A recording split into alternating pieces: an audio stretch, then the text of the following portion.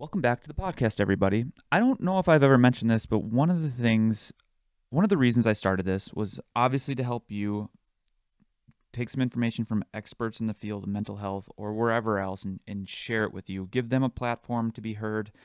It's just, it's a win win all around. But the part I don't like talking about because I feel a little guilty about it, but I think it's important for me to be honest, is that I use these for me.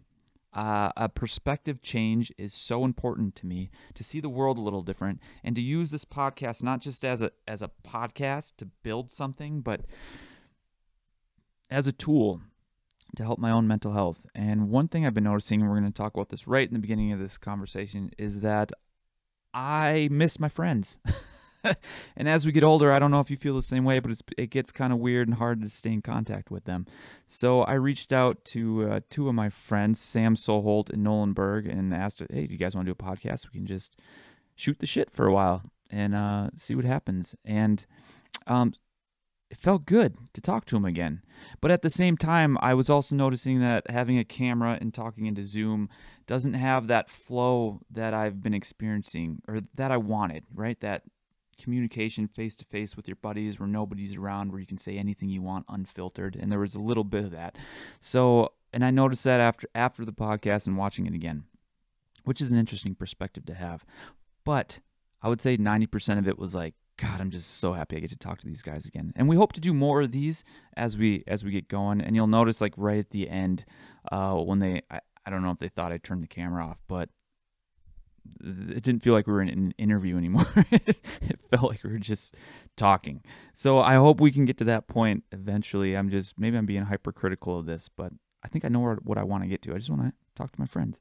So this is just a conversation with me and two of my friends.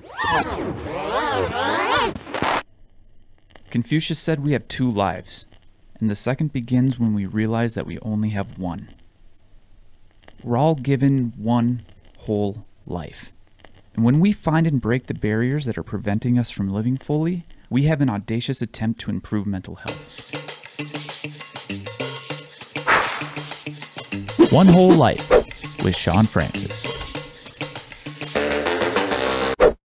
I thought I thought I'd start by uh, kind of explaining why I want to do this in podcast form, which is with this one whole life thing. I've been using it not just to learn about mental health and push it to people and talk to experts and take their wisdom and tools and give it away, but yep. also to help my own. And in the last year, I've noticed that a lot of things I do, I choose work over like the things that fill my bucket. And I miss talking to you guys and I miss hanging out with you. And yeah. I don't know how to do that as we're getting older. So it kind of took a year to go, oh, I have this silly little podcast. Why don't I just invite them on and we'll just bullshit maybe once a month or one time if it goes well. if it doesn't go well, we'll go. Uh, it always yeah. goes well. Yeah. yeah. yeah, I love it. Yeah. All right. Cool. Well, can can I ask the first question? Because I feel like I can. I'm in a safe space with you guys.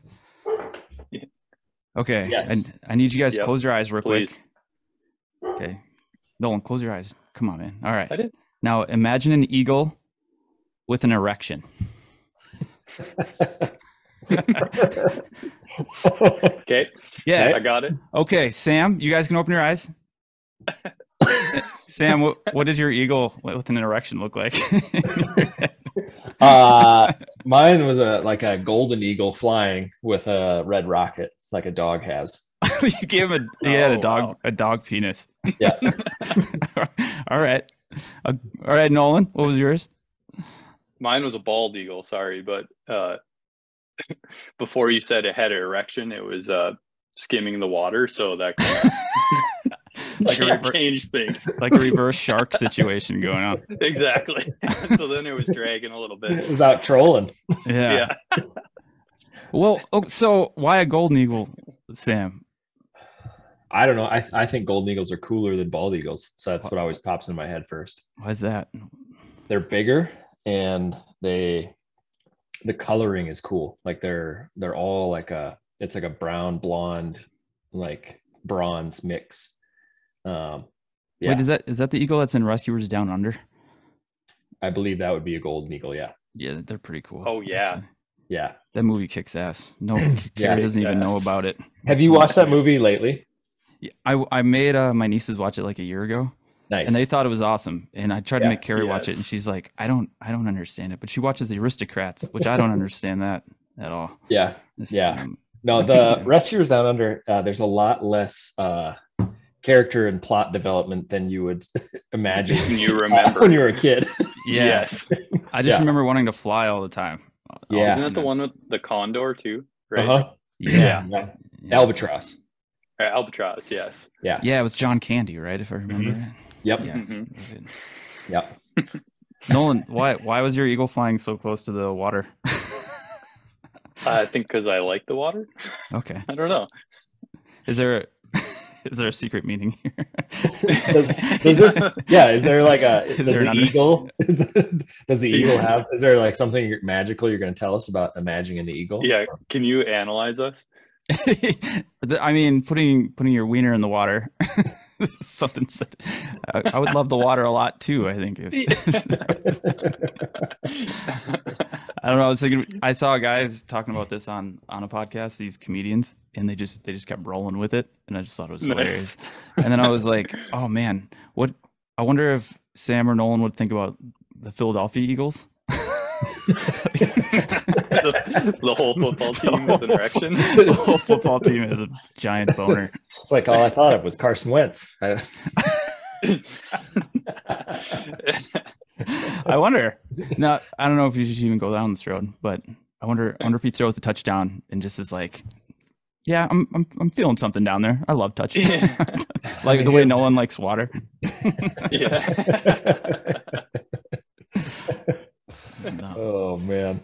So, so uh, why do you think it? Why do you think it's so hard for us to, for as you get older, to stay in contact? And I know like distance is a huge thing, but I, I kept thinking about college and how we like we grew for five years. We saw each other every single day, which I think is why we still have this crazy connection. Because Mhm. doing a lot of these podcasts, there's been a lot of talk about how growth binds people a lot, and I, I mean. From 18 to 24, there was this massive growth for me, at least, and I'm sure you guys too. But why do, do you still feel like there's this massive growth happening in your guys' life right now or or is it just happening in different places or did it slow down after a while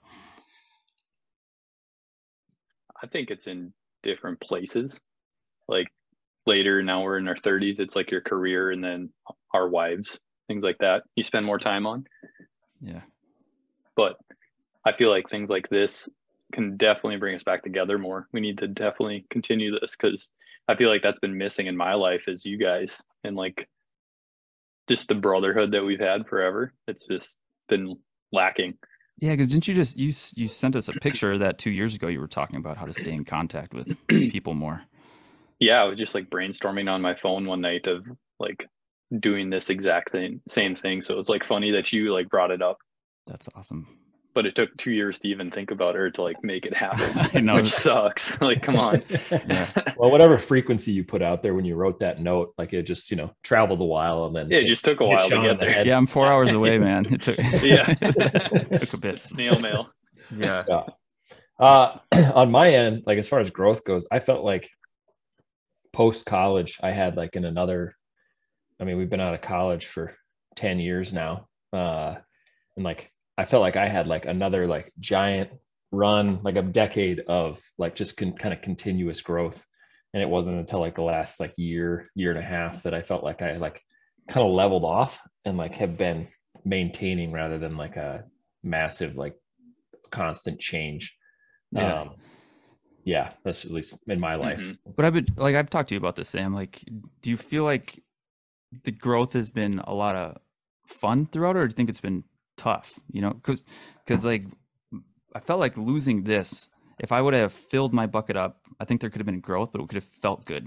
You know, where there's a lot of this pole vault, you know, for or train for five hours a day, and then now you're running a business, and now you have to work, you know, all freaking day, nonstop, sleep, social media, all this stuff, and it was Mhm. like there was a lot of growth and grinding going on, but there wasn't this Yeah. like bucket filling growth. I don't know if that makes any sense. Do you guys feel like that too? yeah I feel like, yeah, like it was career based instead of like relationship based. Yeah. yeah yeah for sure and i think just you know it's just as time goes like that's you start to focus on different things like i think that i think one thing we should touch on like while we talk tonight is um like all of us at one point like we all had this thing we were hyper focused on which was track and field and then that ended and shawn obviously mm. you did a lot longer than nolan and i but like when that ends like the headspace after that is you're kind of just trying to figure out what the hell to do like yeah you know after absolutely that. i mean because like like you said all of a sudden you lose that like you know kind of built-in family um that you had for so many years and then it's just like you feel like you just get tossed out into outer space like on your own and you're just trying to like grasp at lines to hold on to it a little bit mm-hmm. and then figuring out which direction you need to actually go to kind of progress in life career relationships all that stuff. Yeah it was it was we i mean for me the doing the track thing there's there's a whole it's kind of messy for me you know with uh not being good enough. I got a lot of that crap in me that's like trying to figure that out. But what i missed the most was just the community part of it. I didn't really realize that. Like mm-hmm. i did i did track past you guys where i was training alone. I was still doing track. I was training. I was going but it it, it kind of sucked like, right. And, yeah. and if Riley was here, I'm sure he'd say something similar. Like, you do the grind, you go in nice, really early, and then you know you go to these meets by yourself. And if you know, it's just this weird thing. But when we were at NDSU, it always felt like you'd go to the track, you'd see all your friends, and then everyone would be mm-hmm. jacked to see you, and you'd be jacked to see them. And then you'd go to the mm-hmm. dining center afterwards, and they'd still be there, and you'd still be friends. And then you might do a little bit of homework, then you go to a party or something, or you go downtown and you know throw some darts or whatever, whatever it is. And then they're just there. It's like you have this college is weird like that, where you have this giant yeah. community of people, and then as we get older, like I don't have that anymore. but I wish I still did. you know, I don't know where to find it. We're right here. Yeah, I would say too. I think uh, the the thing too is like when we were on the team, we are all focused on like the same thing, and like we were all like, yeah, we're working on track, and it's all the same thing. And then now, like Sam said, when it's done, everyone's just like, shit, now what? And then it's like it's like a year and a half of that until you kind of like, okay, well now this is life, and I guess we got to work and like do that stuff, and it's just a big void in your life. It's weird. Do you still feel like that, you guys, at all? Like you're still trying to fill that hole from track, or is that gone for you guys? I don't feel like I'm trying to fill the hole from track. I just I feel like I'm constantly trying to find uh actual purpose in like the direction that I'm going. You know, obviously, Same. you know, obviously like now being married, don't have kids yet, but being married, like, you know, part of my focus is being a good husband. And like that's obviously gives me purpose in life. But like I've I've always been a project guy and I always need you know, like I always need something like way bigger than me to be focused on to feel like I'm moving forward. And uh mm-hmm you know, like I said, still trying to figure that out the last 12 months, two years. I don't know. we've yep. Shawn, you and I have talked and Nolan, we've talked about this, you know, at at nauseum probably, but like just kind of being lost in this whirlwind of social media, like as far as, you know, what I do is creating content and being, you know, having to be on a million platforms at once and trying to manage all of that and then still like be good at being in a relationship and then like trying to be creative and then sneaking out to do something creative and then you know coming yeah. back and like trying to turn the brain off when like oh all of a sudden it's 7:43 on a Thursday and you like get an idea and you're fired up and it's like well it's not really the time to, time to do that you know? Sam I I completely get that like being a little bit not anywhere near you but shooting photos and stuff too for companies where it's like oh, this is like the perfect opportunity, the perfect place, but it's like the vibe of whoever you're with. It's just mm-hmm. not the right situation. you got to balance that because it's like not everyone else wants to work to make that happen. Right. necessarily. Sometimes everything falls into place and everyone's jacked about it and it's like, yeah, let's do it. But yeah, for you, I'm sure that's super hard it gets complicated. I just like uh, constantly, I like you know, I definitely I need to hire somebody. like I, I uh, well, what's doing... cool is when the three of us get together, it's just like like yeah, we're yeah. all like firing on let's the cylinders, go. like oh that's sweet, let's do it, and it's like fun for all of us. Yeah, yeah. We, we've said that a million times. Like when mm-hmm. we did that hunt you know, uh, a few years ago. It's like we just mm-hmm. pulled out the drone. We're like, wouldn't it be cool if we could fly through this tent at full speed? You know, like yeah. and we're and where I think a lot of people would go, that's dangerous. We shouldn't do that. And then it puts like a wall up, right? But for some reason, when we're together, there it's it's only opening each other's doors. So like Yeah. to, to go crazy. And Yeah. that's that but that's what I'm kind of trying to talk about is like that's where those bucket filling things where you go, Mhm. this doesn't even feel like work anymore. And I almost feel guilty. It feels so good to be doing this stuff. Right. So no. And Shawn, I would say you definitely in my entire life of knowing you have opened doors for me always. Whether it was pole pole vaulting, then mountain biking, and just like you were always like, Yeah, you can do that. Or like, I bet you can do that. you know? Well, it, and but you open the door too because I, I still try and do that with people, and they're like, ah, maybe not today, or I don't, I don't know about that, or like you said when you were talking about being with a certain group of people, it's it, you just get doors shut. So like, right. yeah, your Yeah. environment's huge, and that's why like I, again, thanks for doing this, guy. I'm already like, yeah. kind of jacked to be doing it. Yeah, this Yeah. is super fun. Yeah. So um, so with uh the social media kind of content stuff that you both are doing, like how do you how do you decide when to be creative and like when to put that down for the day? You know, instead of just going with it. Because I know for me personally, if I have an idea and if I don't operate on it right away, it kind of fizzles away. I don't know if creative people don't understand that. Like, oh, that was a really good idea yesterday, and then you wake up in the morning, you're like, yeah, maybe that idea kind of sucked. But it could have been great if you tackled it right off the bat. if you just went with it. if you yeah. just go, yeah. uh i mean fortunately like in what i do mo- a lot of the time i can try to dive into it right away um i just got to be uh somewhat held back if it's you know if it's an idea that's going to like take me away from home for like it used to be like i'd come up with an idea and be like i need to be gone for six weeks to pull this off. And, and then, "Oh, see you later. Uh and but like that's really not the case anymore. So i mean fortunately like not having a, a full-time job i can typically dive into stuff if i am feeling creative. Um but it's it it gets there's it's always just finding that balance. Um Mhm. you know i think i think uh but you're totally right like i can't tell you how many times i have had an idea where i'm like this is it like this is the next like stream this is the next business this is the next whatever and then like i sit on it for three four days and then i like almost forget about it entire entirely. Um, Yep. yeah so it's i don't know that's a weird rabbit hole to go down because i've probably forgot more good ideas than i've actually accomplished I know I found this old journal that I had where I just write ideas down or my phone, and I go, "Oh my god, if I just did some of these, good, Yep. good things will still happen probably." Well, I, I think the three of us are a little bit of perfectionists too, and that kind of stops us from, well, if it's not perfect, I'm not going to do it.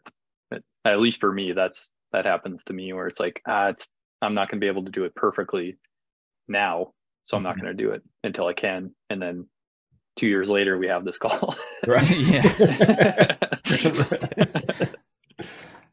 I've been I like I call myself a recovering perfectionist now because I, I was really wrestling with that because again part of this thing was to see what barriers are preventing me from from moving and growing and a, and a lot of it was perfectionism and so I, I heard someone say um, don't let perfection get in the way of good enough and I've I have that written on top of my laptop now so Mhm. every every time I'm like I'm not ready to do that I'm like well I'm going to judge the shit out of it. But if someone else sees it, they're going to think it, or they might think it's 110%. And even if they don't, do I value growth or perfection more? And you can't grow Right. without failing a whole bunch of times, kind of a Mhm. thing. So, kind of like with this, I didn't, I don't know how this is going to go. You know, I've been talking to mental health experts for a year and a half on this thing. And now let's bring in my friends and talk Yeah. about let's talk about uh eagles with erections you know right off the bat and, and see what happens you know just because i think it'd be fun I think you're on to something here. yeah yeah there, there might be yeah so what kind Uh, of project or go sam Sorry. Oh no, I was just gonna say like I've been trying to uh I felt like in 2022, you know, I felt like it was like the hang the COVID hangover. Uh I felt like we lost two years and then 22 was like this uh nobody really knew what direction any of it was going to go, you know, like there was a lot of negative talk in the media and everything about massive recession coming and whatever and like as it's all churned forward it like you know inflation happened but it doesn't seem as bad as they were predicting at least at the moment you know and so but like i felt like i was i felt like i kept getting stuck in this loop of like i was consuming a lot of media and like you know telling my justifying it telling myself i was trying to come up with good ideas to create content and like do all these different things. And so in you know now we're in a new year and obviously you know everyone that actually does anything tells you don't you know have new year's resolutions because if you're going to start them you might as well start them at any day of the week or whatever. So right. Yeah. um so this isn't really new year's resolutions but it's i like as the month has gone on i've been trying to figure out okay what do i want to try to do this year that's different so i can kind of break out of that like feedback loop of just like consuming content and consuming media and like um like what what things actually like you said fill your bucket? And so one of the things i wrote down today which is an impossible task but that's why i wrote it it's create more than you consume. And like i'm a photographer i you know i do mostly photography video content you know whatever but like i i really enjoy like when i can get into a space where i can really nerd out like on an idea for a photo or you know whatever like i love that. And but then what happens is i you know end up like oh, okay i'm gonna like look for the right song to put it to or whatever and then like four hours later i you know i'm, I'm watching i'm watching some guy in thailand build a dam to catch fish you know like, like you know, it's so but but i figured if i would write down create more than you consume it might be a good bench that I can jump off and go, okay, like I'm leaving, I'm just going to leave my phone here, leave my phone in the truck, and I'm going out and I'm going to shoot photos for the next six hours. And I'm just going to like see where the day takes me with my camera rather than see where the day takes me with my phone. Like I was actually researching, I, I was like, how much does it cost to add a phone line where I'll just get a flip phone? And then I only use my smartphone for posting content and, you know, like editing stuff together if I'm doing it real quick and then like I'll text all my friends, like close friends and business clients, like you can call me on this number or text me. Yeah. Yeah. I would like just not have the availability of Instagram, TikTok, Facebook, you know, any I'm, of it. I'm laughing because I just had this conversation with Carrie. Like, I just need to get off my phone and put all of the social media stuff that I need for work on my computers, and then not use it my phone anymore. Mhm. You Yeah. know? Yep. it's yeah. I, I feel worse when I watch all that stuff. Probably Every like you time. do too. Yeah. Exactly. Yeah. I saw a video the other day where this it was on TikTok, I'm pretty sure, which is terrible, but it was this guy saying that he would put his phone in black and white and then that way when you're looking at Instagram or TikTok it's just not as interesting so that he found himself using it less. But yeah, I had a pole vault friend do that a few years ago, and it worked. She, yeah, she she could see the the amount of time she spent on it, and there was a direct correlation for when she turned it into black and white to when everything cut off, because everything's so shiny and fast. So if you Exactly. take colors out of it. They're like, I'd rather look at real life and see some real colors at that Yep. point. Yep. It's like if you drink black coffee, you probably only have a cup or two, but if you put creamer in it, you drink a whole pot. Yeah, isn't it? Sam, aren't you the one who told me that you don't even like coffee, you like Uh, creamer? yeah. yeah, pretty much. yeah. Dude, now I'm addicted. Now I'm addicted to energy drinks. It's like it's Oh, just What? How'd you move on to energy? oh energy god, drinks, I don't know. I found Ghost Energy, and they Yeah. got me. Yeah, it's just Oh, yeah. uh, Celsius, those things are dangerous too. mhm. yeah. So I probably need to decaffeinate. No, man, it'll make you create more. It'd be good to go. Yeah.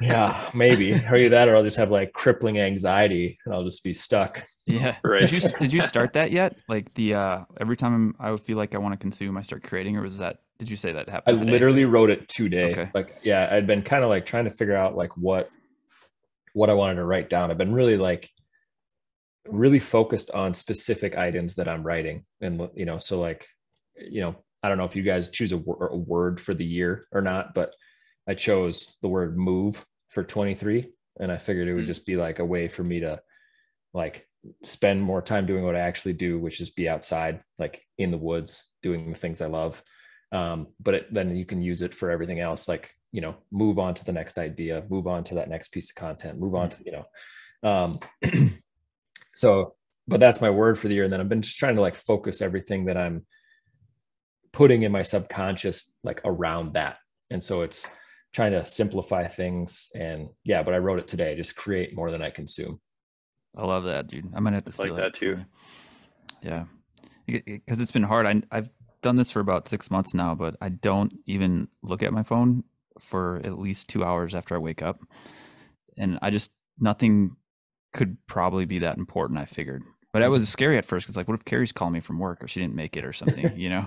So Yeah. I, like I cheat a little bit. I go, do I have a text message? Nope. All right, and then I put it down and, I, and I don't look at anything because as soon as I go, it's like, well, how did my post go from yesterday? Did did I get any book sales? And it turns into like Nolan was saying, where or Sam, where you're watching some dude, you know, fishing without any pants on or something, you know, and you're like, how the frick did I get here?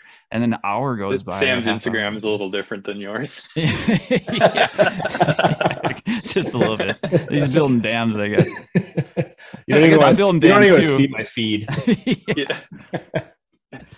yeah, but so, so that's been like one thing I've tried to do. Have you guys done any of that cold shower or ice bath stuff or tried any? Oh my god. The last five days in a row, I have done it. Yeah. It's weird. I just started doing it. How do you feel? It's awesome, actually. As Yeah. much as you hear that, you're like, oh yeah, I'm sure it's awesome. But it's like, I was actually thinking about this this morning when I was doing it. Shawn, you remember when we in track we do the hot cold cycle? Yeah, I called, tub, the, ice I bath, called hot it the tub, flush. Yeah. The flush. yeah. You get that same like tingly feeling, and then it's like you get kind of lightheaded, but then like when you're done, it's like you're ready for the day. It's pretty awesome. So do you have a tub or are you just doing it in the in the shower? I'm just doing it in the shower. okay. and I'm like, you know, everyone's like so hardcore, like you got to go five minutes in a 30 degree ice. No, I just do like I started with a minute, and now I'm doing two minutes, and it's probably only like 40 degrees, Yeah. but you know, it's not freezing, but it's it's pretty sweet. I've I've been doing it for a year and a half. Just two minutes in a cold shower. Yeah. I Yeah. Exactly. and it got like I stopped drinking coffee because I didn't need it, kind of like you were saying. Yeah. And then I just bought a like a, an inflatable ice tub, and I figured I could just throw snow in it in the winter, and then when the summer comes, Mm-hmm. I'll figure it out or just refill it with stuff. But it hasn't showed up yet. But I'm really I'm kind of pumped to see if it changes between the shower and like the ice tub part. What have you found for benefits? I almost the same thing I find if I'm meditating. Like if I miss a day in the shower, it's hard for me to focus and everything just I feel kind of heavy and sticky. I don't know if that makes any sense. Like mentally Mhm. sticky where things aren't flowing and moving as well and like it's kind of low. But when I'm in there or, or when I get out, I immediately am up and I'm Oh yeah. ready to go and yeah i i was i started it because of um there was this medication i was on few years ago uh, where it improved dopamine and norepinephrine and that was the only reason to take that ssri was for those two reasons and then i saw the benefits like if you take a cold shower norepinephrine and dopamine go through the roof and you feel really great Mhm. i'm like wait so i can not be on these crazy meds that give you these like insane side effects and just stand in- the shower for two minutes in the morning and get the same benefits. So I was like, I'm gonna give Probably works better, honestly. Yeah, it, it might. I now it feels now I don't know if you're here yet, but it's almost that's my norm is the shower. and when Ah. I don't do it, then I'm like, oh, this this isn't normal anymore. So okay, so you like you brought up your baseline. Yeah, yeah. That's a, that's the best way to say that. I was failing miserably at explaining. it. No, that's cool. I'm definitely not there yet. It feels like every day that I've done it so far is like, holy shit, that was awesome. So Yeah. it's like it's still like bringing me up. Have you noticed? have you noticed that your shower sometimes colder some days than the other? Yeah, That's- that sucks. Like Uh-huh. this morning, it was a cold one. I'm like, oh god damn it. Yeah. So do you are you guys taking a hot shower first or just straight cold shower? I so for I me, did- I oh, yeah. go like I started like not hot, but like lukewarm, and then I turn it cold once I'm in. Yeah. You I just s- jump in. I started that way. Now I'm just like cold, and then I brush my teeth while I'm in there, so I know I'm brushing my teeth for two minutes too. That's that's perfect. Yeah. That's great. I haven't- dude.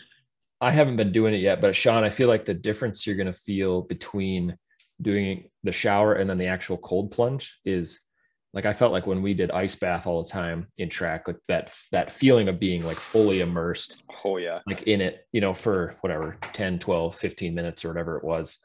Like I feel like you get like well, first of all, it's so much colder than what the shower is going to put out. Mhm. Um, and then like it's going to take your body that much longer to warm you back up, which is what releases all of those everything cortisol, right. norepinephrine, Mhm. dopamine. Yeah, it's crazy. They were saying you only need to be in there 11 minutes. I don't know if you guys saw that too. So yeah, per week. 11 minutes per week. So yeah, two minutes a day, you're you're set. Yeah, Yeah, It's exactly. kind of insane.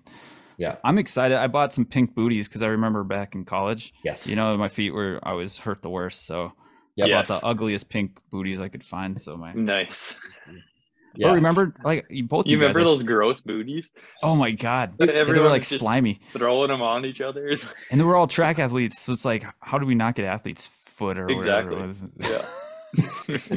not to Yeah, bring those- all that up. Those were disgusting. Like the like the wrap thing. Like, you know, like Oh, Oh, was- I forgot there was the- about the wrap. Yeah, because there was the booties There was that were booties. like some someone's mom made. Um, out of, I think they're old like neoprene waders. You know, somebody like Yeah. cut up. Somebody Yep. stitched them in the socks. Yeah, but Oh, yeah, but like the wraps were was what we used all the time. Um, I don't know. I'm sure Scott was like, "Those booties are gross." I use the wraps. I like, Yeah. same thing. but Huh. Now yeah. I'm kind of wishing I bought some of those wraps. I rem- I forgot all about those things, man. That's those are pretty incredible. Yeah, I'm pumped for this thing to show up. I don't. We'll see. I'll I'll keep you guys in the loop how that Yeah. goes. Yeah, I'm Yeah. curious to see how long it lasts outside. Like if it's an inflatable one. Yeah. Well, they s- they said it was pretty heavy duty, but it was either pay like 130 bucks for that one or five thousand dollars for a tub. You know. And I was Right. Which I think I'm gonna stick with this thing.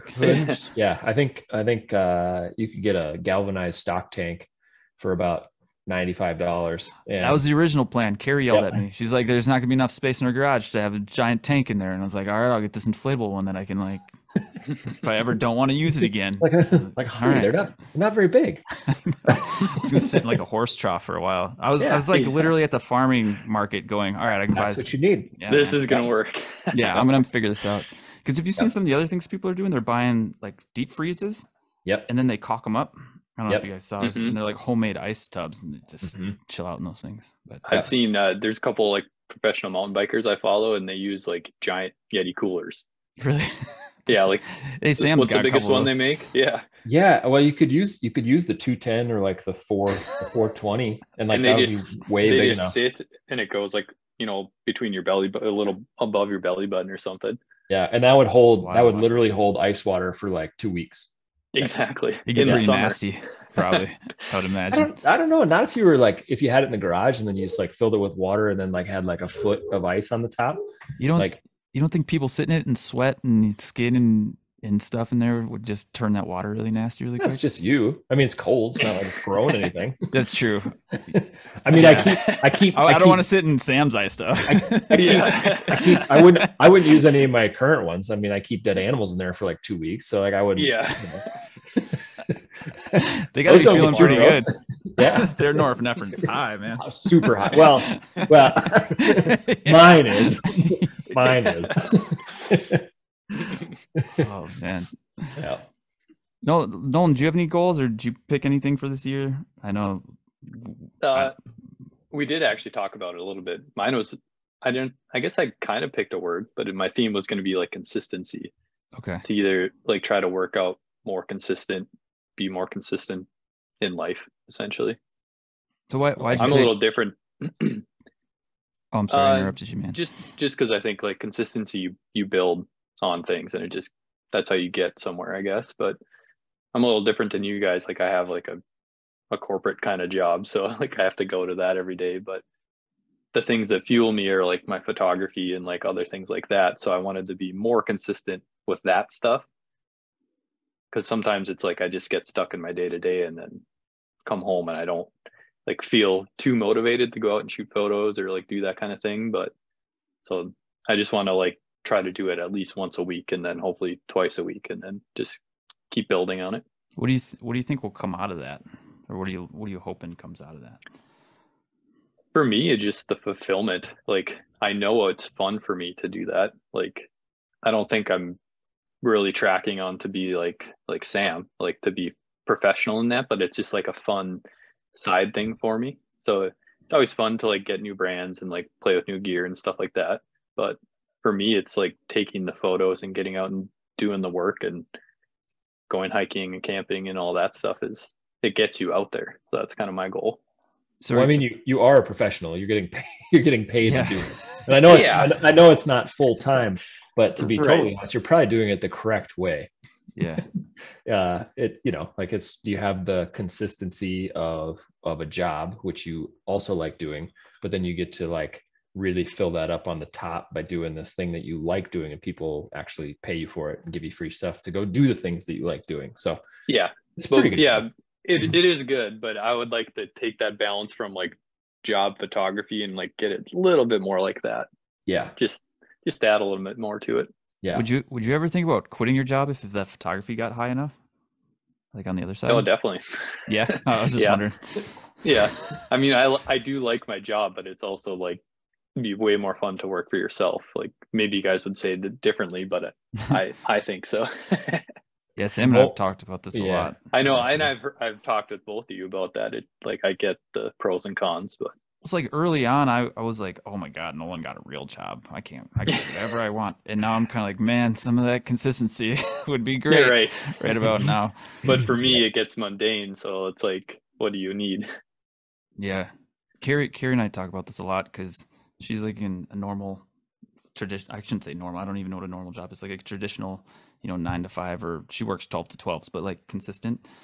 Mm-hmm. And then, like right before I came down to this podcast, I was like, "Did you think I was slacking today?" Like, because she was home all day, and I I launched these like bracelets for uh pole vault team hoot today, mm-hmm. and they went really well. So like a ton of orders came in, and then I was like, "Oh, which is great. But at the same time, you're like, oh, mm-hmm. oh, fudge! I gotta, I gotta get all these out. you know? so Carrie helped me, and we spent probably an hour just packaging before we shipped them out. Like we had to just put them in these little plastic baggies and make them look nice to uh, like put in a normal baggie so we could ship it out. And we watched The Office while we're putting this thing in there.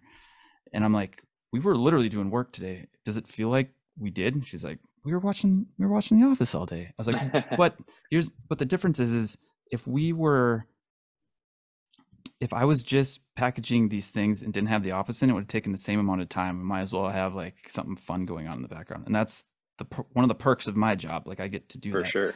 And she's like, "Well, I don't get to do that at work." And then we had this conversation about why does it why does work always have to feel hard? And I don't know if you guys feel like that either, but if I'm enjoying it, sometimes I'm like, I'm not doing enough or I have to do more because it's too fun or or the bucket is filling instead of depleting. Do you yeah. guys feel like that with like what you choose to do, like in either of your jobs or hobbies or projects? I think the the pitfall that I get into all the time is come to a point now where like my all of my income is based on documenting the things that I love to do and so every time i go out to do those things uh it it is work. Um but then sometimes like i just don't want to do the like i just don't want to bring a camera. Like i just want to go yeah. and, you know i want to take a i just want to have a weekend where i go out and like i right. soak in you know just sitting in a tree or sitting in a duck blind or whatever. But uh, when i do that then i feel guilty that i'm not doc- documenting it and creating content and shooting photos because uh, that's what i do for a living so it's a I that's, that's exactly what Sam's saying or Shawn is saying. Yeah. Do you run into that? You want to make it hard with what you do? Yeah, in, in a way, but um yeah, my job's a little different. It's it's so free flowing that most of the time it doesn't seem like work because I'm outside a lot during the summer and yeah. stuff, but it can definitely when it's like this time of year we're like sitting down having meetings all day then yeah, it sucks. what what about on the photography side? Do, do, you feel like Sam does, where at first it's like, oh, I get to take pictures of um, the Stanley stuff that they sent me, but did it ever get to a point where you're going, I would just like to be camping right now and not have to take photos of of things, or definitely, I would yeah. say even this past year I did a lot less product stuff just because of that. Um, and then sometimes, I mean, I'm sure Sam gets this, but there's like deadlines, or you feel like they sent you all the stuff you really need to turn around or that you know when they do pay you like okay i really need to do this. I haven't had the opportunity so now i got to go force myself to try make it happen. And then usually that's not very creative either because you're forcing it. Right. Yeah, yeah. that's a good point. Yep. Yeah there's nothing worse than trying to like set up an, an authentic outdoor camping hiking biking hunting fishing scene when you're not actually doing like you're not actually freely doing that activity. Yeah. Um, It You just know. doesn't look natural, No, it's you know you're like and it's not fun either. right yeah it's just so dumb like you know you're like all your like it's like all i need is a photo of this whatever tree stand or whatever it is you know it's like i just okay i just am gonna have it in the like leaning in the in the back of my truck just so i can get like a shot of it quick or whatever but then when you when you're not actually hunting the back of your truck never looks like you're hunting unless you're hunting Mhm. or, like Yeah. i don't know how to explain that to people but like even the best photographers you cannot fake like you can't just like i have to like be like i'm going hunting today and then i like load my truck and then i'll go hunting and then i can get that shot i just can't It's like, hundred percent right. oh, yeah but uh, i mean which is good. I get to go hunting then but i but yeah like sometimes like you just need quick stuff and it just feels so fake. And like on the other the crazy thing is that that's all here in your head because on the other end nobody would ever know that you're faking but like while you're shooting the photos, like oh so dumb. This is just Yeah. so dumb Well, But- Sam, we've done that before. Remember the park over up Oh, yeah. north? yeah It's the only place with a couple pine trees, so we go there because it looks looks like you're not in Fargo. yep Oh, it's Yeah. weird. Do you guys do, Mhm. do you think it's hard? I mean, I have a theory on this, but do you, why do you guys think it's hard to to set those up and just not allow them to be what they are? I think because it's uh like we all like doing these things we grew up doing them right? Or like at least like for the last 10 15 years like we've been doing all of the things that we love to do like very hardcore. Um and so when you're just trying to like whatever like fake a quick shot or whatever it just feels so unauthentic like in your own head that i think that's Yeah. that's what makes it hard. You're like oh well where would i typically put this if i was just going out to do this for a day? And you're like well you know i could put it here but then it looks dumb in the photo. You know it's like just this you start to like play head games with yourself um on something that probably isn't an issue at all. It's just it doesn't look right to yourself. And if you feel like that might translate down downstream.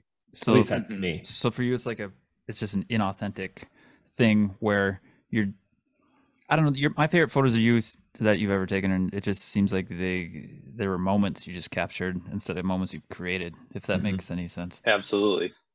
Yeah, but it's hard to do that for a product. yeah it's Yeah. it's really hard. yeah and that's typically why i tell everyone you know i always tell people i'm a photographer in the hunting industry and they're like oh you do a lot of wildlife stuff and i just say i'm ma- mainly a hunting lifestyle photographer because that is the goal. Like i and that- that's always been the challenge i've put on myself is i am trying to tell a story in a single image because most of the time that's what the only thing people are going to see. And so it's Mhm. you're right it's like you're trying to be in the right spot at the right time to capture that single moment that's going to be like yep that's the one. Like that's, well, that's and those photos that capture people's audience or like they captivate people, it's because they're like gritty or dirty or like real, and Mhm. like that person was actually doing that. And when you try to fake that, it's just like that. I don't know why. And maybe you're right. Maybe it is just us seeing that, and it's like that's not real. Most other people are like, "Oh, cool." Do, do you think it'd be better if you were able to? I don't know. why I'm pushing on this so hard. Probably because I'm, I, I make videos. You know, it's the same kind of thing. But Mhm. like I did a documentary for this fire department where they wanted to help with promotion, and I wrestled kind of with the same things you guys are talking about quite a bit. Where I'm like, I'm here to just capture what you guys do, and if you don't like what you see, like there's part of me that goes, "That's the Yeah. truth. That's what's happening." And so, Yeah. but uh, they they're asking to polish it up so people will come in and then part of me is going well this is a recruiting video right to, to and to keep people in the system because what ends up happening with the firefighters that i learned was they would come in for like three months and they go oh this sucks and then they would leave. And so they had this retention thing that was happening that was really bad. I mean what if you just show exactly what it is then you're going to attract the people who know exactly what it is know exactly what they're getting into and then they'll stick around instead of going we're going to fight fires and we're going to and we're gonna do this and we're gonna rip cars apart and it's gonna be awesome. And instead of just go we actually pick up ladies who fall down more often than we fight fires. You know like that's that's the gig mm-hmm. and if people know going in so i kind of pitched it like that like let's just be authentic about this because i got like i i just couldn't i couldn't do it when people were asking me to make them look bigger and better than they ever were. Mhm. I just it wasn't in my DNA, which sucks because I think I could have made a lot of money doing that. But well, I Shawn, still- that's you, man. Like for the whole time I've known you, you're so authentic. And like when you started with your GoPro and you started doing video and stuff, it was just you showed everything all the time. And that's I think why people enjoy it. yeah, I think about that though. There's there's a line between like how much you let people in at the same time. You know, because uh, hmm there's this whole thing in psychology where you, there's like a circle and you're in the middle of the circle and then there's a circle around that circle and that's like your wife or you know your, your really close friends if they're that close as close as your wife is. And then like the next one you know it everything branches out. And i guess what i did with that vlog because i just got out of that mental health hospital right where i was like i feel awesome. Everything's great. Because i let a lot of the stuff go. I just like let everybody in. And then it Mhm. got weird when I'd go to, to Reno or I was at the state fair one year and somebody was like, Hey, Shawn, how's Squish doing? I was like, I don't freaking know who this person is. Yeah, I bet. Talking about my dog. This is kind of weird. So like I wrestle with that though too, because I I think there's this there's this gift in authenticity and being vulnerable and being who you are. And if you can show that, I think it allows other people to show that. And I think that's where this connection happens. That's like what we have, all three of us Mhm. and if you don't let people in i don't know i guess i guess i'm trying to say i'm erring on the side of probably getting hurt by letting more people in than um you know not but what i keep finding is that i need breaks so i'll let people in for a few months and then i need like six months off from people Right. Yeah. just get too Yep. close Yeah. yeah I think the biggest, I think the biggest thing there- there is, I mean, I don't do it on the scale that you do, Shawn, like where you've like basically shown people your life, but I, I typically engage with people like if they send me a message, ask me questions or whatever, like, you know, I basically respond to everybody who gets a hold of me.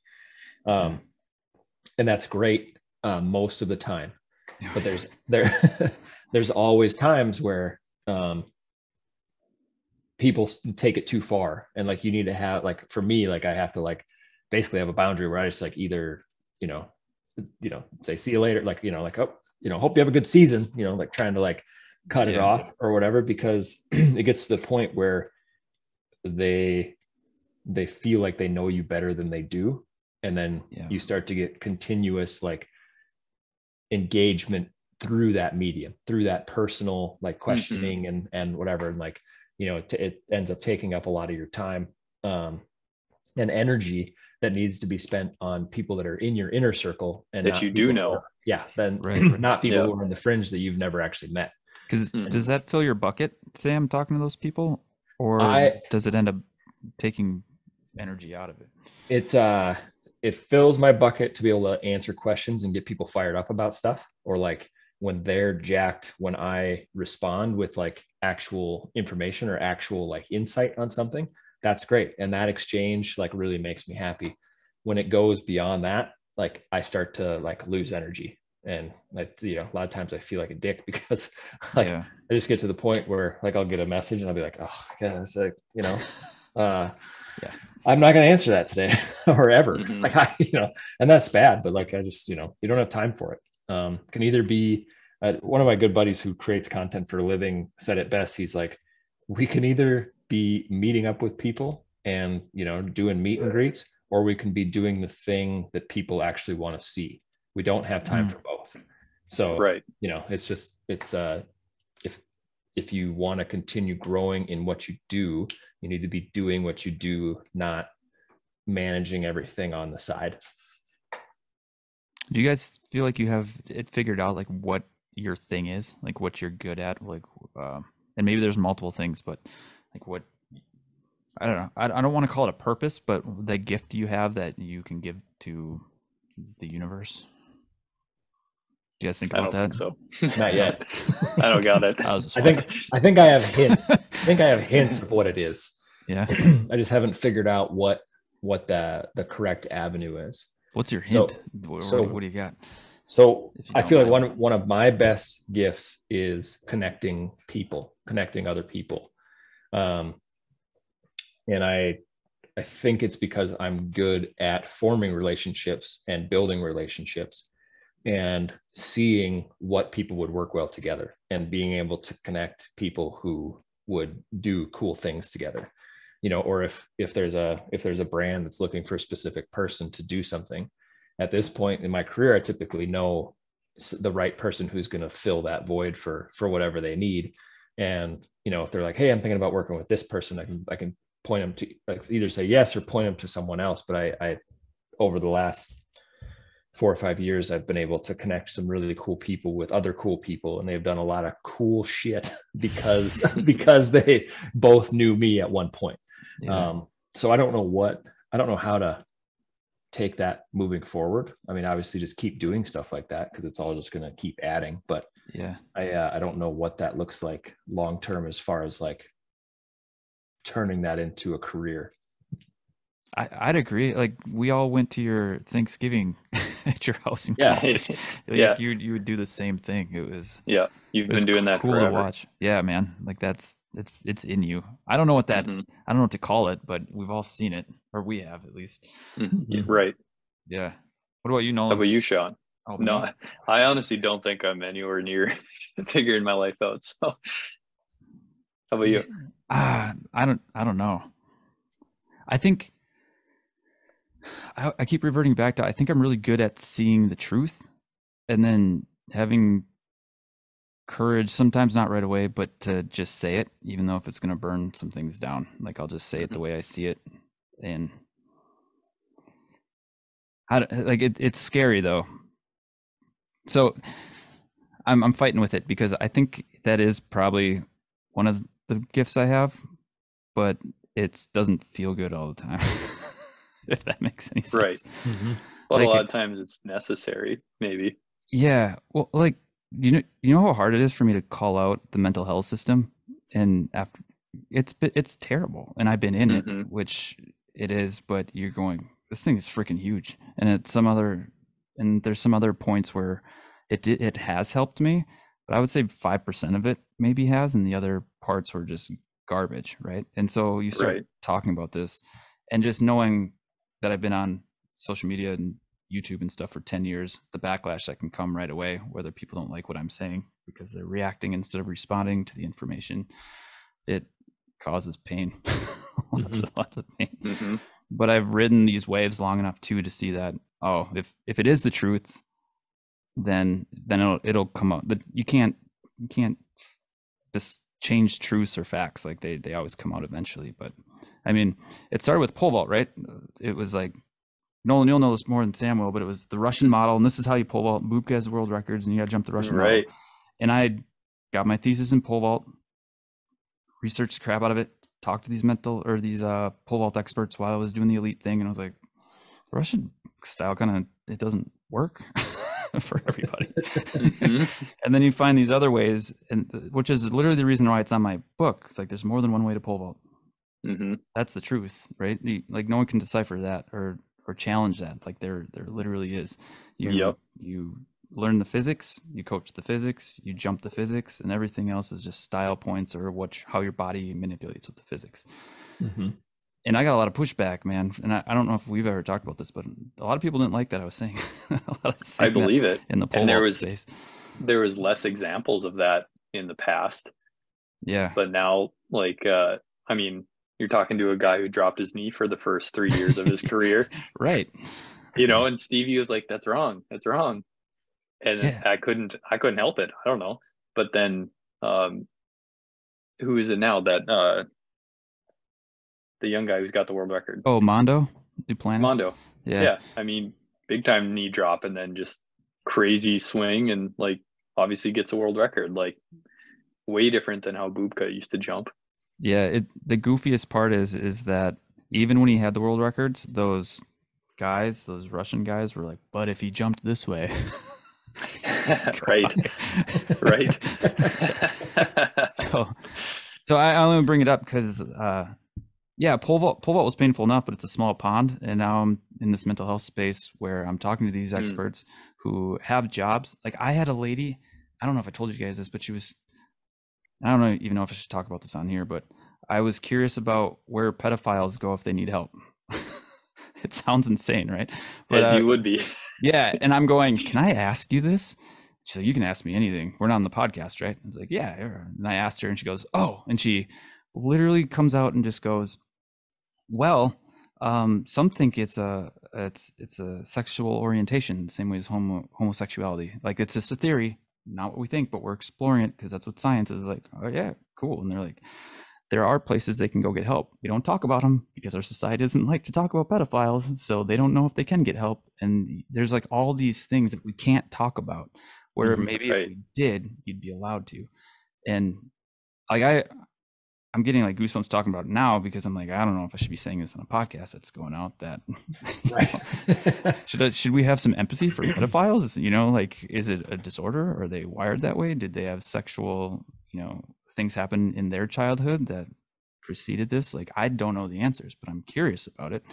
And so, Mhm. yeah, to answer your question, Nolan, that's probably it, but it scares me because those types of questions come up. And Yeah, I get it. yeah, and I'm they're never judgy when they're coming from a pure place. They're just like, why? Like I'm like a little Yeah. kid, I guess. yeah. You're just curious, Yeah, and I don't know how to monetize that either. right? so that's kind of where we're at. Yeah, well, you can't you can't be a news anchor. So Nope, that's Right. for sure. It's been cool watching Joe Rogan though, because he's. yes, Have you seen the difference when he talks about this types of stuff? He can say whatever he wants, and he brings it up all the time that he feels safe within the podcast, while the Mhm. rest of the world's shitting all over him and trying to take him down. And he's, Yeah. Yep. yeah. No, he. Uh, I, th- I think he said it best. He was talking about Jordan Peterson, who's under fire right now, like in Canada. Like they're you know going to revoke his psychology license, the whole thing. But uh, when he's, I mean, he has it too. But there's people that reach escape velocity, is how he put it. So he's so big, and there's so many people that listen to him, and there's like regardless of what any exterior outlet whatever is going to say about you like you're moving so much faster than that like noise that you'll never get touched by it like nothing will ever bring Mhm. you down that's a um, cool way of thinking. which i thought was a yeah uh, which i thought was really cool but um shawn you were talking about all the mental health stuff you're doing yeah. I've I've been curious if you figured out like what is what is the biggest hurdle for people in mental health? Like, is it the fact that the culture doesn't talk about it, or is it big pharma, or is it doctors that think a certain way, or is it like what's the like what's the lowest hurdle that people hit like when they're trying to like Yeah. figure their shit out? S- self-awareness. Okay. Mm. Yeah, that's uh, I I tried to get there with like again with pole vault because there was a lot of simulators. Like, what is at the very base the the most important part? And in pole vault, it was well, it's just pole vault at its simplest form is creating and transferring energy. Like that's it. Yep. Are you creating Mhm. energy? No. How can you do that? Are you transferring it? Nope. All right. So how do you do that? At its simplest form, Mhm. it seems like with with mental health, it's it's self awareness. And if you don't have self awareness, what happens is you get these conditioning thing, or what I, I've been told and read and you know experimented with on myself, is that you you get this conditioning when you're a kid, which is essentially a program that's downloaded into your brain, and you become automatic to it. You don't even think about it anymore. So without the awareness of knowing these patterns are happening, they just continue to happen. So the best thing anybody can do is bring this awareness piece into their life and just ask questions. So like part of the cold showers, Nolan, I started to do, Mhm. I noticed that when I was in the shower, I would move a lot, or I was brushing my teeth as a way to I don't want to call it numbing, but distracting myself from being in the Yep. shower. I've noticed it- that too. And that's awareness, right? And so I started not moving until like, and just to see what my brain would do. And I was like, you Mhm. got to get the fuck out of the shower. It's really cold in here. And then uh, it would stop like hurting in one point, and I'd go, oh, I'm gonna turn around and do the front now. And it's like, I gotta Mhm. get the fuck out of the shower. And he's like, oh, and I I don't have to get out of the shower. And that awareness piece, whether it's meditating or whatever you're doing, helps people be able to at least. Um, there's, I'm going off on tangents, you guys. I'm sorry, but do you uh, have you read that book, um, like Man Search for Meaning? Have you heard of that? Uh-uh. So, so this this guy was put in a concentration camp, but he was a psychologist at the time.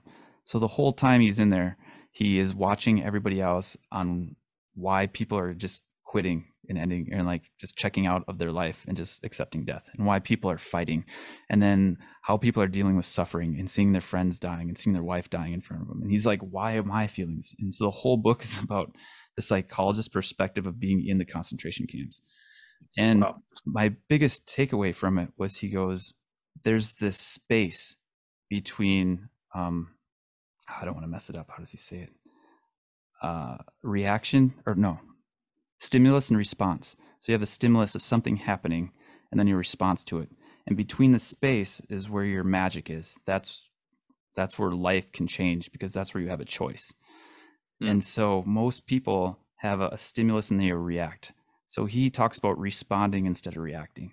And but it starts with that self-awareness, just knowing if you're reacting to things or if you're responding to things. And so that's so yeah, that's the long way of going I think that's always step one. And from a society perspective, I think we're told you can only help yourself if you go to the doctor. And I've been to the doctor a lot and they didn't help me at all. And then when I, right. And I don't want to say they don't help because I've been helped too. But when I started bringing more awareness and going into the painful things and going, there's probably answers within the painful things. That's when I started feeling a lot, lot, lot better. And so, and that's why I'm talking to you guys because like why do why is this barrier here? Oh, I'm not getting enough freedom and having these t- conversations with people. So, um, yeah, like yeah. it feels good. And I would Shawn, imagine, in your in oh, go ahead, Noah. Sorry, just quick. In your opinion, do you think because you've been in this for in this space for a while, but like post pandemic, do you feel like it's more acceptable? Because it feels like it is, as far as you know mental health people are talking about it more and, and actually going to get more help yeah i, I think for sure because uh, this this lady talked about how uh, uh society is a group think like it's we our brains work a certain way but society is mm-hmm. like a giant brain that works the exact same way and so when it's in automatic doing the same thing over and over again you you fall into that same trap where you don't have this awareness anymore. You're just like, it's nine o'clock. I can't wait till it's Friday. You know, then I have the week. Oh, I hate right. Mondays. You know, and everyone kind of acts that way. And then what COVID seemed to do is make everyone pay attention because there wasn't the flow, the the consistency anymore. It forced everyone mm-hmm. to go. I don't know if I like my wife. You know, people are getting divorces at this yeah. crazy rate, or they're like, why do I have to go to work? I'm doing all my work from home in three hours a day instead of twelve. You know, and yeah. so it forced everything to change because they had this awareness. So in some ways, I think COVID was one of the best things that could have happened because it's making people go, "Am I really mentally healthy? I don't know. I should be talking about this because I don't feel very good." And yeah, kind of a thing like yeah, you so. said bring your aware the first thing is awareness and i feel like as a whole everybody became a little more aware it forced it man yeah yeah and, definitely and they talk a lot about like a death of a parent or the birth of a child or these big events that happen in your life force this crazy weird awareness or the loss of a mm. job you've had for a long time you're even a dog it could be anything but when it forces right. you to pay attention or or be outside of your norm that awareness piece is big but if you have too much of that happening without the tools, that's where bad things can start to happen. So definitely, definitely, yeah. Which is why I think it's good everyone's talking about it because it just develops those tools. But mm-hmm. yeah, it, everyone had to stay at home and be on TikTok, and then everyone started talking about how everybody has ADHD. Everyone, everyone, right. everyone started sharing all of like their like trauma from growing up and mental health stuff. It was. Do like, you guys see that too? Everywhere. Okay, mm-hmm. I I didn't I'm, know. I'm pretty sure I have self-diagnosed ADHD. So yeah, or TikTok di- diagnosed at this. Yeah, that's probably worse, worse or better than a WebMD. I can't even figure that one. Yeah, I, yeah, it has to be worse because. It, like how you know the algorithms work i would imagine you just end up in this echo chamber like you know you pick up a couple things from one video like oh yeah i do some of that. And then like you get like 50 more adhd videos because yep. you watched one for longer than six seconds. Yeah. And you're like oh, god do i need to go on adderall? No. No i think i just I think i need a cold shower and and work out again. Yeah. Yeah. Yeah that's actually really interesting. Yeah. You, but I, I actually this you know my word was moved so i've actually been i've been rucking uh, with like a just a 25 pound pack for do at least three miles a day um, so far all year, and uh, I have noticed that it's only been it's only the 18th, so we're you know two and a half weeks into the new year, and I have had like a pretty substantial lift in brain fog, and I was like, oh, dang it, like I just, you know I knew knew all along I knew all along that it was exercise that was always like you know did that forever growing up like that was mm-hmm. always the outlet. Like anytime you're stressed it didn't matter. You had practice that day. You were going to go like you know either do conditioning or lifting or whatever which releases all of the good things. And so mm-hmm. you know you stop doing that for any period of time at least for me. Like now i really know that it like really messes with my head. That's good. Yeah. That's a good mm-hmm. self-awareness. It is. Yeah that's really good to know. Yeah. Yeah. Yeah. Yeah you do a lot, Nolan. I've, I've, had I've I've had that awareness for a long time. Is I'll come home and if I'm if it's like an office day and I've been in there, I have to go do something. Otherwise, I'm just grumpy and like not myself. Haven't you been cross country skiing like lately? Is yeah, yeah. We Melissa and I bought skis, so we've been doing that like twice a weekend. You're crazy, man. Do you like it? It's so oh, it's so fun. Is it? I haven't tried. Yeah, it it's awesome. Ash and I bought skis a couple years ago. Yeah, you guys so much fun. Shoot, I feel like I'm missing out now. Yeah. I don't know. I I've gotten invited to go a few times. I was just like, anything with the word cross country in it is not for me. you need the skate ski because it's a little faster. Yeah. What's, what's the difference? Uh, skate uh, skis are solid to your feet, so it's like you're on really long ice skates, kind of. But yeah, it's like that same yourself. motion. Yeah. Oh, really? Yeah. Okay. huh. Good to know. Have yeah. Have you guys seen the movie Stutz on Netflix? Did you watch that at all? We watched some of it, but we didn't finish it. Okay, the one with Jonah Hill and he's talking yep. to his therapist. Yeah, yeah. It just made me think about it because he talks about this triangle in there, and the very base level is exercise and diet, and that'll get you eighty percent of the way yeah, to feeling wow. better. Yeah, and people say it all the time, right? I Like exercise mm-hmm. and diet, exercise and diet. But he goes, when people come in, that's the first thing they look at, and then he go, and then it cures most of it. Yeah, right.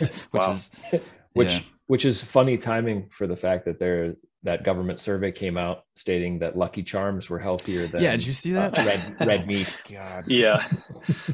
yeah. I don't know who to trust. Def- they they seem pretty rough to trust sometimes. The government, yes, yeah. yeah for sure. Yeah. And yeah. uh yeah, now now I'm gonna get bombed or you know no, I think you'll be Epstein. okay. Yeah, I think you'll be okay. With the We're, 12 people watching this thing, we need to work. We yeah. need to work on escape velocity. right, they can't get us.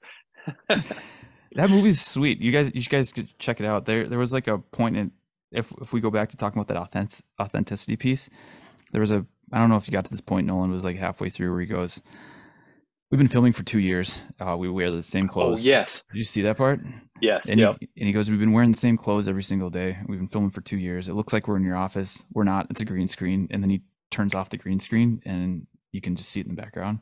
And he goes, It just feels so fake talking about being vulnerable and authentic. And we're in this studio telling everybody it's this. And he's like, this isn't even my real hair. And he pulled his hair off. It was a wig. yeah. it's like a turning point. We watched just a little bit further than that. It's like a turning point. You're like, oh, that, and it's like, holy, he's being authentic here. Yeah. It felt good though. It felt really good mm-hmm. to see mm-hmm. that. And it was, yep. maybe that's why I was kind of pushing a little bit on the picture thing earlier. Cause it was like, he, he's in the movie business. He's spending all this money. He's got all these lights mm-hmm. and he's doing this thing and he just, he just tore it away and it felt better. it felt and better being tell messy. It, it felt better to us because it was felt better for him. You know, yeah, you could just, tell. He just got to be with his his like I, I mean they seem super friendly, like more than therapist Definitely. and patient, but yeah. Mm-hmm. It was it was just kind of kind of wild seeing that. Yeah. Huh. Yeah, I need to finish it. It's yeah. called Stutz. Stutz. Yeah, it's really good. Right. I mean, Jonah Hill makes fun of him the whole time. There's like a part in there where like the the therapist goes, um, said something about fucking his mom, like in there. Like, oh yeah, I banged your mom. Uh, did you get that part, Nolan? No. and then Jonah goes, Oh, it's funny you said that because uh, my mom's coming in tomorrow. It's gonna be all three of us hanging out and talking, and then at the end of the Oh conversation, goes, "Hey, I just want you to know, Stutz said he fucked you." Like, yesterday. and he, Oh, and his, he goes, I, "I don't remember," and then she goes, "You'd remember me if we, if we did."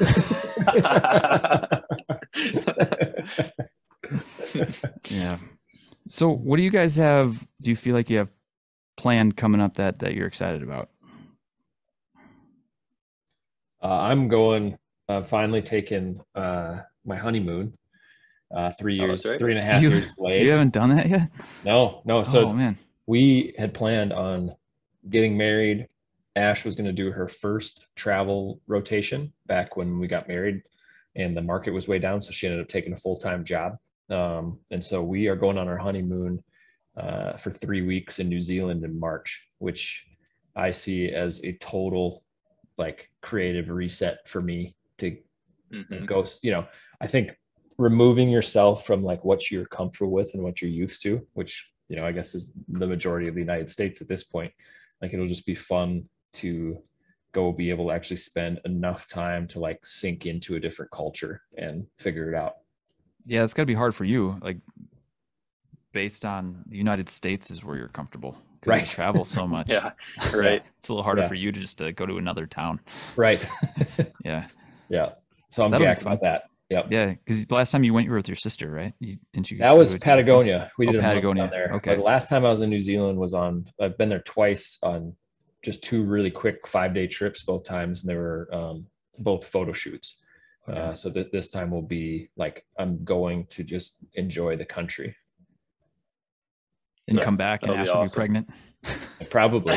Probably. Yeah, that's the plan. what about you, Nolan? Uh, I, I'm always like this time of the year is hard for me. It's like a weird lull of like living where we live. It's cold and dark, so I'm always looking forward just to the spring and being able to like we obviously love hiking and camping, so just getting out doing more of that. That's what fills me up. So just looking forward to that. How do you how do you stay sane in the winter? Because I, I like I wrestle with the same thing. Right, I just want to be outside, but I don't Yeah. like the snow as much as I wish I did. like I'm not close enough to a snowboard park, so I'm just hmm where I don't like snow. Well, you need cross country skis, I guess. Yeah. Dang it! I'm gonna be one of those cross country guys. yep. But, huh? I'll have to check it out. We'll take you. Yeah. So cross country skiing is kind of one of your outlets. Like now that you Yeah, do that. yeah. Okay. because even like the photography stuff now it's just so here it's just so dull and gray and white it's just kind of hard to get into it so Mhm. for me it doesn't start up again until springtime and then then i get more engaged in it Yeah.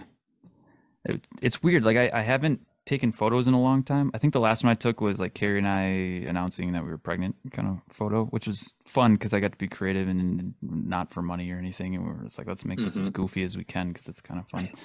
And then yesterday uh, with these bracelet things that I put out, which is kind of wild. I don't I don't know if I told you guys, but well, I've been talking to you about this for like 15 years, Sam. It sounds like, but Mhm.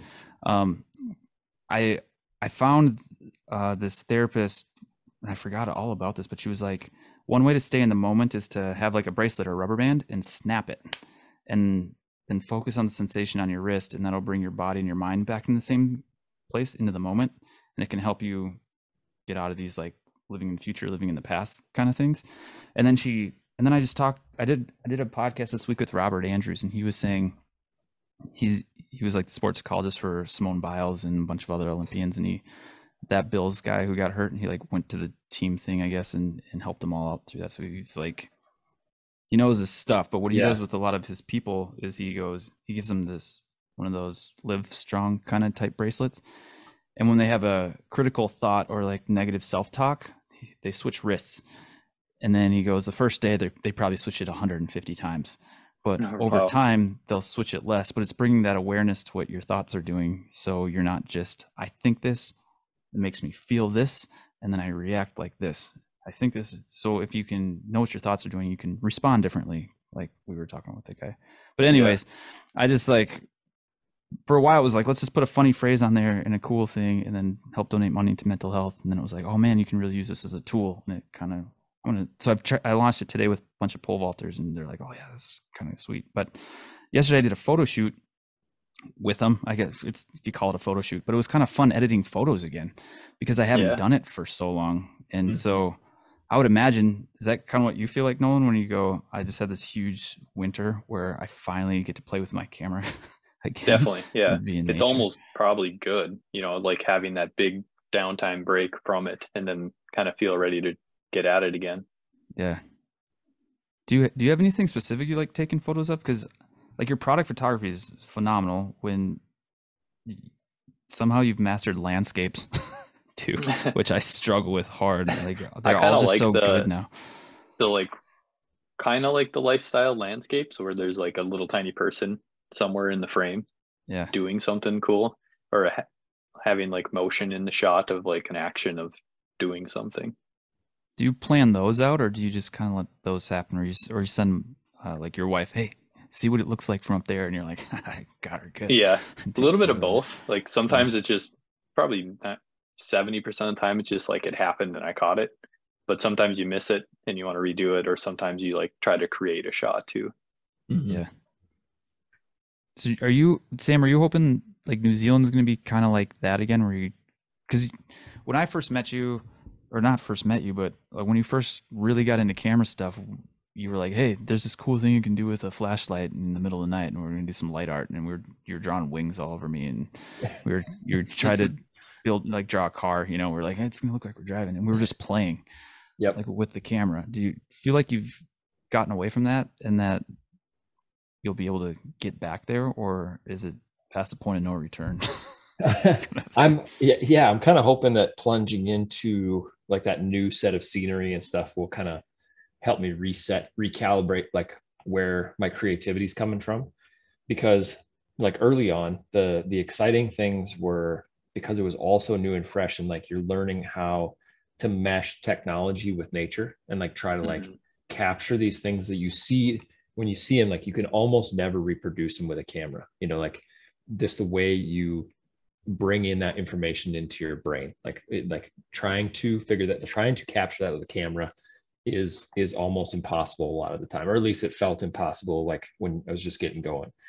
And i could tell that i was like super like passionate about it because as i started to learn the cameras what would happen is like i would see somebody else's photo like and i would be like how did they get that shot? You know how did like and then and then i would i'd have the photo kind of in the back of my head and i'd forget about it and then i'd be working on other photos and trying to you know just get better at like just the simple stuff or whatever. And then at this time i was working in my brother's archery shop. And i mean like no joke like i'd be back whatever fletching arrows or stringing up a bow or doing whatever. And then like it would like click. And i know like my subconscious was like constantly working on these problems that i had given it. And it was like that's how they did that photo. And then i would go recreate that photo. And like that part of it was super fun. Yeah. um, and so a lot of that has been lost just because it, it- there's only three things you can change on a camera. Like right there's only three things you can do to mess with the light and have it and look different. Once you have kind of quote unquote mastered those things um it's just right place right time or like trying to figure out like that next level of shot you want to take. Obviously there's always stuff to learn. There's always different techniques. There's always things you can do. Um but as far as like being super excited about like the gear itself like i've lost like that that has been lost on me. I would i am gonna try to re-kit this year because it's been uh almost five years now since i bought that a7r3 that you were i bought it like we picked it up on our way to go turkey hunt yeah. Yeah. and like I've, I've had that camera since then so This is the first camera we've had with both of us with slow motion on it. right i know remember. it's Yeah. so Like, jacked Whoa, everything's gonna be slow mo. And then the entire world did it, and they're like, no more slow mo. no more slow mo yeah yeah. um but yes i am hoping that new zealand you know will be kind of a a way to like dive back into my creative mind without having any deliverables like if that makes sense like i No pressure. you're- i am going there for my honeymoon and to like really enjoy it i'm not going there to work um so i'm i'm excited about that yeah, you're being creative for you for the first time in a long time, right? Yep. Yeah. Yeah. Yeah. It's interesting. yeah Yeah, that's a that's a tough one, man. Like I, I feel like we all probably wrestle with that a little bit, especially with the photography side of things that we do where you're, you like here here's a question. Do you guys feel like you want to ma- you want to be able to master anything or is that feel shitty? No, like I, I don't really want to master anything. And, Yeah. like it, it took Yeah. me a while to realize that, but like once you figure out that the fun is in the process, not the destination. Exactly. yeah. Yeah. Yeah, same way. It's like I, I feel like with the things I've gotten closest, I get to like 85% and then I'm so checked out by that point. Like I cuz you can Yep. I don't I don't know if you guys feel like that, but you can see the top of the mountain. You're not there, but you go, I know what it looks like. I don't have to go up there anymore. right. that looks like a lot of work. It's really steep Yeah. and icy and there's a lot of dead Or bodies. You're like squirrel, and there's like there's another mountain over there. Let's check that Yeah. one out. yeah, yeah, yeah, yeah. I already know what this one looks like. Yeah. Um, I wrestled that too. Like I I don't know. I had a guy the other day. I forgot who I was talking to, but this it was this exact same conversation where you know, we're we're taught and I, I don't I don't know if you're taught this. Well, yeah, you are too because your theory or your uh, word this year is consistency. But especially in our job, Sam, it's like if you're not posting every day, if you're not consistent, if you're not doing this, you're to lose it. And I'm part of me is trying to challenge that and go, but what if I'm just consistent at doing the things that fill my bucket instead of the things that are outside of me that suck energy from it that I feel like I have to do in the Mhm. same way society's told me all sorts of things I'm I have to do that I haven't done. But hmm there's got to be other ways, right? Has to be. Has to be. Mhm. Yeah. Yeah. Hundred percent. yeah and i yeah yeah, you know circling all the way back nolan you were talking about perfection and um i've been trying to get away from that a little bit too uh just because i've started to realize like um if i have a creative thought and i act on it immediately and like create a stupid little video or just like film myself saying something or whatever and uh, and then i post that they are exponentially it goes over exponentially better than when i like think about something for a long time and like really try to like map it out and do this and do that like and get it all right and then post it. And it's like a huge letdown because there's been so much hype. Whereas it's like like oh this is really funny. Like i've you know this is Right. creative and funny. Like i'm gonna post that. And then it just explodes and it's like oh why am i trying so hard on some of this stuff? I, Yeah, well, there's a there's a video that you guys all both know Peter McKinnon, right? Like yeah, yeah. he did a video with one of his buddies that he's that uh something Ramsey where he's like uh he does puzzles and he has like a whole production thing, but Peter McKinnon was at his place and they did a video and he filmed it on his phone in like 25 seconds and posted it. And Peter was like, "Wait, what?" And because he he's a perfectionist, obviously, yeah. and like production level to the max, and like that guy's video like blew up, and it was like it like was a pivotal point I think for him to realize that it doesn't have to be that again it's like that's his style so maybe I don't know if it'd be better but probably yeah like he's probably trapped in that like he's pigeonholed into like that super high production value exactly Right. because that's like almost his identity and I Yeah. think he's trying to break out of that but yeah yeah Yeah, that, that happens to a lot. Like Jim Carrey talks about that a lot. Where um, I don't know if you guys watch a lot of stuff of him recently, but um, he said something like, "Hey, you're not this crazy guy in these interviews anymore." He's like, "Ah, Jim Carrey was a good character, but I got sick of playing him all the time, so I just stopped." And kind of the same idea. Like they, I, I know it's happened to me, and this is why I was giving you a little pushback earlier. When you're like, "You're the most authentic person I know," you know, with the GoPro and stuff. And I go, "But when, when I would go to these like Reno, people expected like the welcome to the pole vault vlog. My name is Shawn Francis, blah, blah, blah." right and I'm this is more this is me, you know, or more me, Mhm. you know, and so they were almost like, when you when you can do that crazy fucking thing that you always feel like I see on online, right and I'm it's not. It was like this weird character I was playing all the time, and Mhm. yeah, like with Peter McKinnon, I couldn't even imagine if you're trying to be so precise and create this image and make everything look nice. And I mean, Sam and I both showed these giant ass lights that we have in here because we know it's going to make you look better. But at the Yeah. same time, you know, y- we lose it. We lose a, a little authenticity about that a little bit. But Right. Like I think I think it shows. Like people people are smart, and it almost seems like with the more people are posting, they can see through the bullshit even more. Like we For can see an ad a mile away Yes. Than Yep. we used to be able to. hmm Yeah, it's kind of wild. But hmm yeah, so w- what do you what do you guys where do you want to see these things going from here on out? Like do you want to do you feel like this was beneficial for for us or or do you should we try and bring like Joe in with it too? Yeah. Or- I love that. Yeah. Yeah, I think we don't should. Yeah. Yeah. I'm just Yeah. And genuinely I- curious. I think it would be fun. Uh, I mean, I guess it's a podcast. I like, I just like, I like bullshitting, but it, w- it might be fun to like have like an idea to revolve it around. Yeah. Mhm. Like, you know, like, all right, this whole podcast, we're just going to like try to piggyback business ideas off each other, even if none of them ever go anywhere. Like that might Yep. be I like that. Yeah. That's a Yeah. good idea. Yeah. Yeah. I, I just didn't know what to do for the first one. So I was like, let's just see where this goes. But yeah, if we had a theme or something, or even if we, because we started ranting about AI the other day too, of, and about oh, Yeah. how Our scary it could be text or how awesome was- it could be. I was It's just like going to say we should do one whole podcast about AI. We could all research it for like a few days. Well, I'm just gonna- to. We'll just ask AI to write us a podcast. Yeah, that's Yeah. perfect. Yeah. yeah. What should I say in a podcast with Sam Soholt and Nolan Berg, and it will tell me Yeah. exactly what to say. Oh, Nolan, Nolan's word of the year is consistency. It's like, Yeah. How did you know that? It already knows. What? yeah, yeah. that's a good idea. Yeah, I just think keep it a though, little bit yeah. more focused.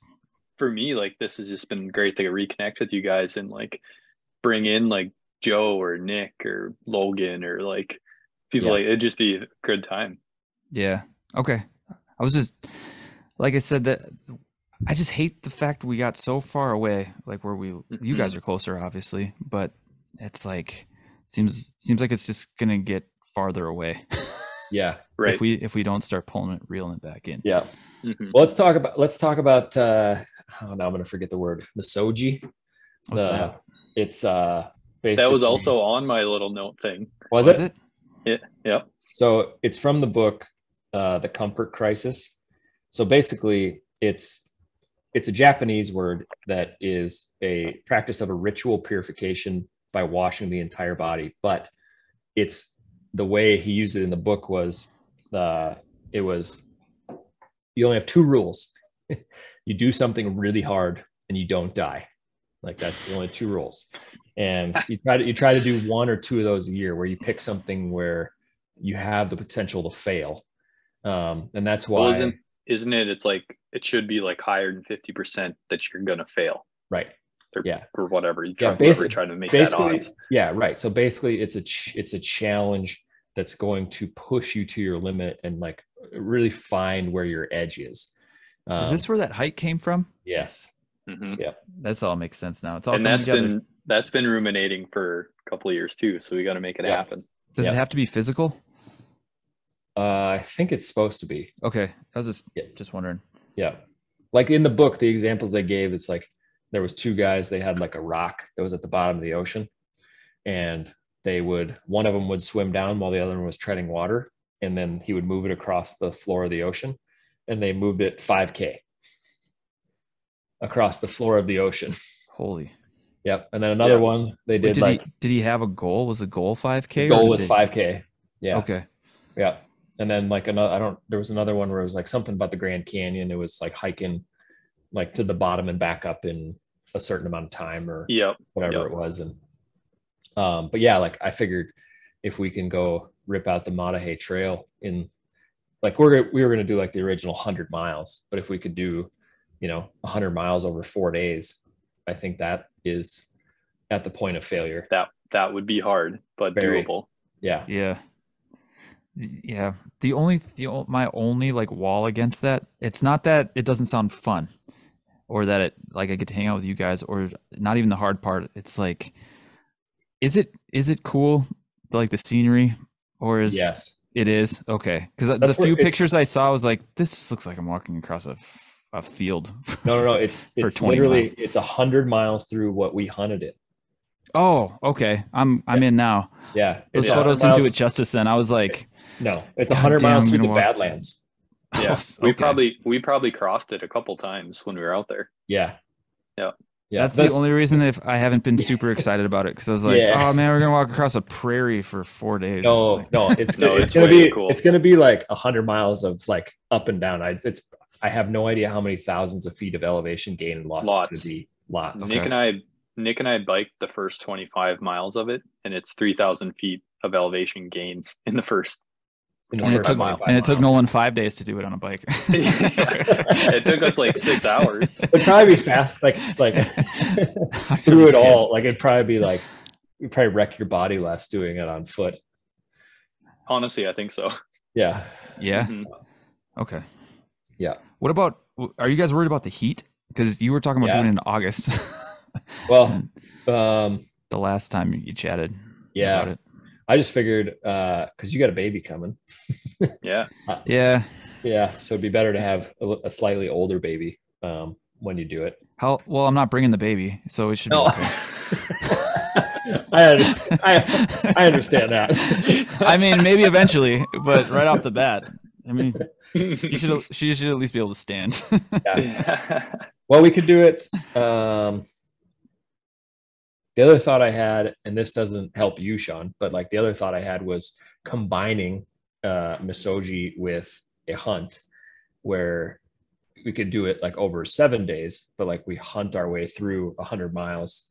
Um, and then if we kill something, like we would we just have to carry it. no, no, no, no. If we kill something, we, so my my original thought was to have the girls out there in Nolan and Melissa's camper or a camper, uh, and if Carrie wants to come along with the baby and hang out in the Badlands, a baby in the Badlands, you know. Baby. Uh, uh, but no, but no. If we if we did shoot something, we could like you know have somebody loop around and drop it off in a cooler. That'd be Right. cool. But it might defeat the original purpose was to you know just rip something out really hard. The heat would Mhm. suck. Um, maybe you know It gets hot out there. you, but you just never know. Like it could be scorching, or Yeah. it could be sixty-five. You know, Like, Right. You just never know that time of year. You know what's kind of you know what's wild? I I told uh, that fire chief about this idea that we were going to do this, and he fucking researched the shit out of it more than I did. He's like, "This is gonna be awesome. This is gonna be awesome. What trail are you guys taking? You taking this one? You doing this one? You doing this?" And he he went all into it. I guess a few years, I think it was two years ago. He goes to Duluth and hikes like 20 miles by himself over the weekend.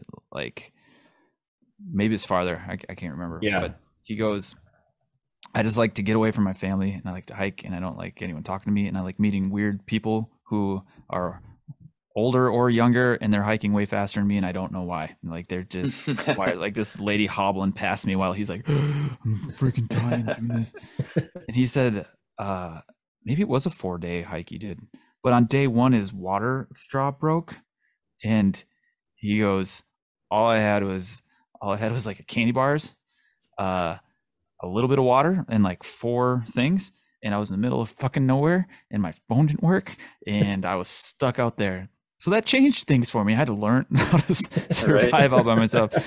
And he- he said he barely made it through. And he got to his truck and he immediately drove to the gas station, just drank two cokes, like two giant cokes, just to get some calories and sugar back into him. oh man. Yeah, but s- I think it, I think he's kind of wired like we are, where like you want to do hard things for for Yeah. whatever reason. I wonder if more Mhm. people are wired like that than we're aware of. That just they get I think stuck. everybody is. Yeah. yeah, yeah. I think They you just know, don't know it. Right, exactly. I think every time some I don't care who you are, every time you do something hard where you have to earn something, like there's so much more there's so much satisfaction in that.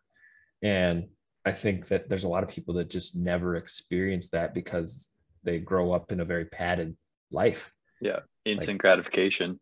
Yeah. Hmm. God damn you, Jeff Bezos. It's funny you bring that up because I immediately think of like Bo Burnham. Oh yeah, that song. Yeah. Dude, Come on, Jeff, get him. Could you, could you imagine doing like what he did? Just being a video or in a photography guy and like all three of us, and you just watch that special and you go, I mean, that's what he did, right? That like, is it massage Massagy? Misogy. Misogyny. I don't know. I don't think it's misogyny. Misogy. But that's kind of what he did in a way. This is this really freaking hard thing that just launched. I don't know. Yeah, Yeah. He had to feel pretty good at the end of that. But- yeah.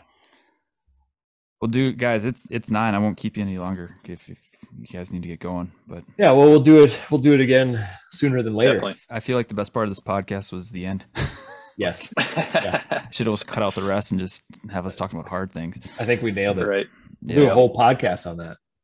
we could. We could. Yeah. Yeah, let's just talk about all like the the heart, like whether it be the track and field stuff we did, or things since then, or before then. I think we should just talk about all the hard shit we've learned from. Yeah, it seems like it seems like we flow the best when we're talking about ideas instead of Yeah. uh For sure. instead of hey what's inside what's deep inside your soul you know unless it's Yeah. helping something We're all kind of planners, I think.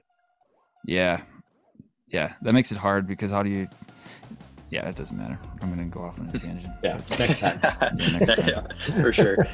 all right you guys are awesome thanks again for doing this i just first one's probably gonna be the weirdest one and then if we keep going it'll be awesome Oh, we'll keep going.